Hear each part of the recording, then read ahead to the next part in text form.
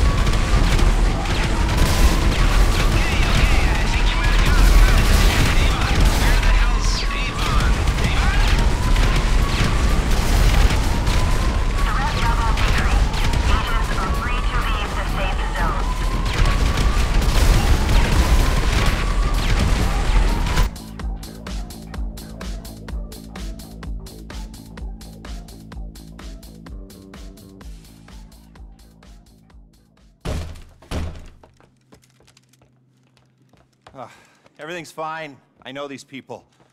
Oh, I'm supposed to be at a potluck. Who were they? What the hell is going on? These nice people saved us.